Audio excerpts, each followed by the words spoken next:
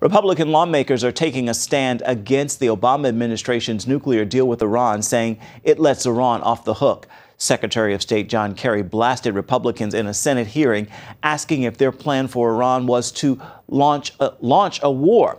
White House Press Secretary John Earnest, Josh Earnest rather, followed that White House talking point, accusing conservative opponents of being pro-war. But Republicans say the administration has been deceived by Iran. From my perspective, Mr. Secretary, um, I'm sorry. Not unlike a hotel guest that leaves only with a hotel bathrobe on his back, I believe you've been fleeced. Congress has 60 days to confirm or reject the Iran deal.